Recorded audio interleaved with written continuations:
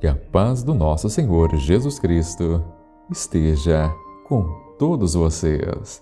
Sejam todos muito bem-vindos ao nosso encontro diário aqui pelo canal Eviva e sintam-se muito acolhidos em todas as nossas orações. O Espírito Santo nos reúne, nutre nossa fé e nos torna fiéis e perseverantes na mesma missão de Jesus, que é sustentar e restaurar a vida. E o Evangelho deste sábado, dia 7 de maio de 2022, é o Evangelho de João, o capítulo 6, versículos do 60 ao 69. Naquele tempo, muitos dos discípulos de Jesus que o escutaram disseram: Esta palavra é dura, quem consegue escutá-la? Sabendo que seus discípulos estavam murmurando por causa disso mesmo, Jesus perguntou: Isso vos escandaliza? E quando virdes o filho do homem subindo para onde estava antes? O espírito é que dá a vida. A carne não adianta nada. As palavras que vos falei são espírito e vida, mas entre vós há alguns que não creem. Jesus sabia desde o início quem eram os que não tinham fé e quem havia de entregá-lo, e acrescentou: É por isso que vos disse: ninguém pode vir a mim a não ser que lhe seja concedido pelo Pai. A partir daquele momento, muitos discípulos voltaram atrás e não andavam mais com ele. Então Jesus disse aos doze: Vós também quereis ir embora? Simão Pedro respondeu: A quem iremos, Senhor? Tu tens palavras de vida eterna. Nós cremos firmemente e reconhecemos que tu és o Santo de Deus. Palavra da salvação. Glória a vós, Senhor.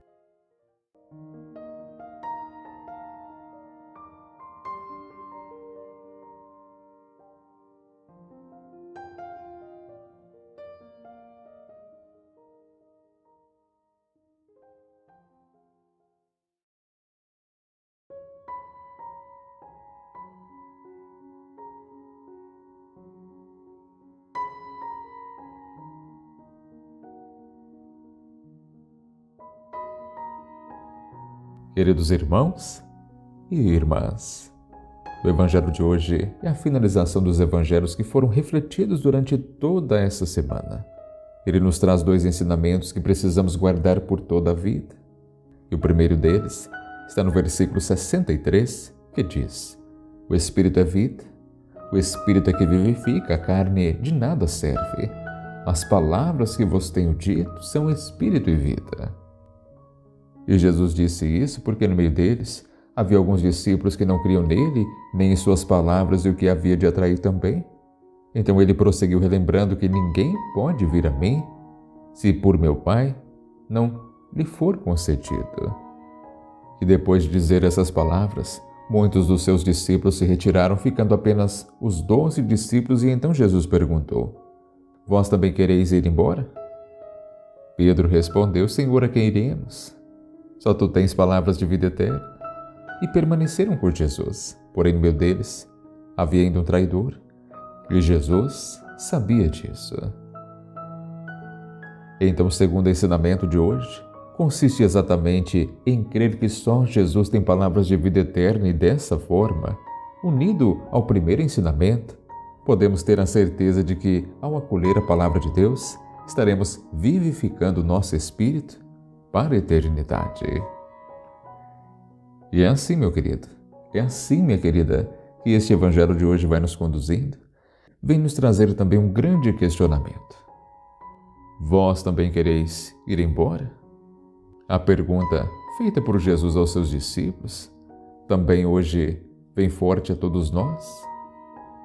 Questiona-nos à medida em que vivemos tempos difíceis de não entendimento, de não adesão ao projeto de Jesus de construção do reino.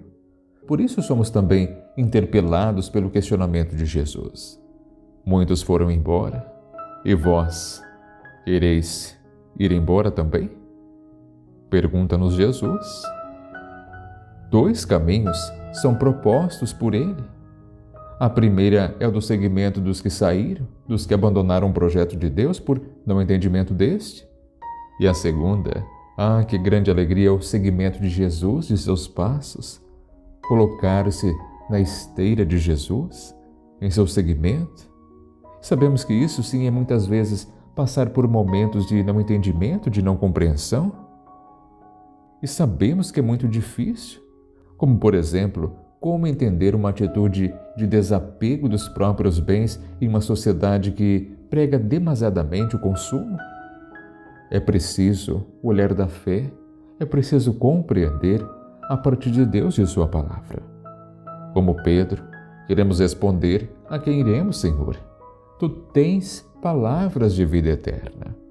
E a resposta de Pedro pode nos ajudar a responder esta pergunta: a quem iremos, Senhor?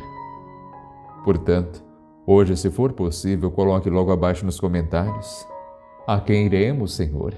Tu tens palavras de vida eterna. Assim, meu querido, minha querida, com certeza os seguidores de Jesus, aqueles que o deixaram, foram seguir outros, talvez menos exigentes e mais claros sobre o seu entendimento, é claro. Pedro respondeu: Tu tens palavras de vida eterna e nos remete a seguir a perspectiva.